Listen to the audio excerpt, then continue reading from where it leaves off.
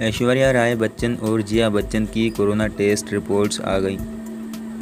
ससुर और शोहर में कोरोना की तस्दीक के बाद ऐश्वर्या राय बच्चन का कोरोना टेस्ट नेगेटिव आया है। सास जिया बच्चन समेत दीगर अहल खाना भी इन्फेक्शन से महफूज करार।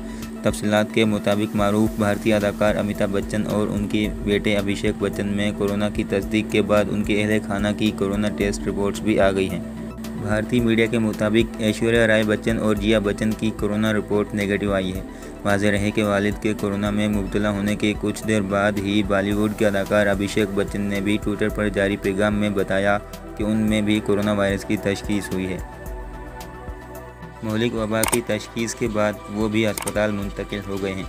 अभिषेक बच्चन ने बताया है कि उनकी तबीयत बेहतर है, लेकिन उनमें कोरोना की इलामत ज़रूर ज़ाहिर हुई हैं। उससे कबल अमिताभ बच्चन ने तस्दीक की थी कि उनमें कोरोना वायरस की तशखीस हुई है।